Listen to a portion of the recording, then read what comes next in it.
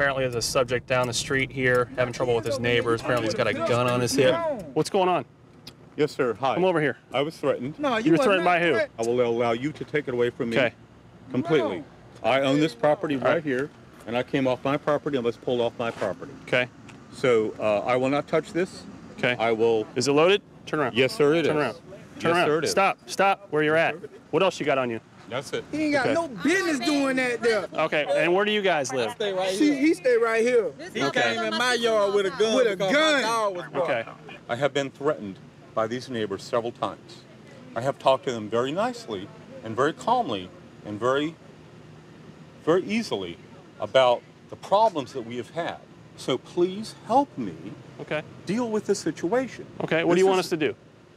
Tell them to quit hassling me and to stop the dogs. Okay. Well, they're allowed to have dogs, sir.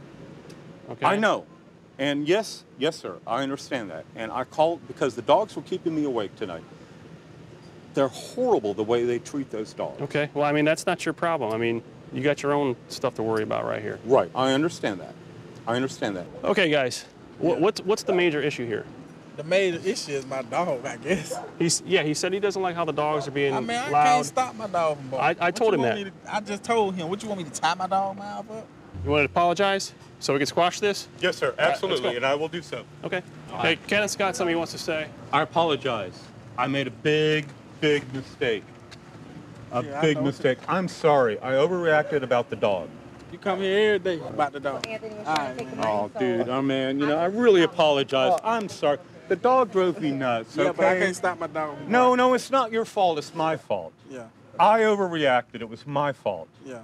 No, sir. You know, you and I have talked. Everything's okay. I really apologize. I'm going to have a glass of milk and I'm going to go to bed. Sounds good. Okay? We'll see you later. Do you have a restraining order against Yes, her? Yes, I do. Arrest her. Hold on, easy. Sorry, I'm sorry. How did she get in? She went through the window. You see the blinds? She Okay. climbed through that window. Does she live here? Well, when she was living here, now she got restraining order. Oh, I know I'm not, sir. I'm not doing nothing wrong. I just came to get On my your stomach. stuff.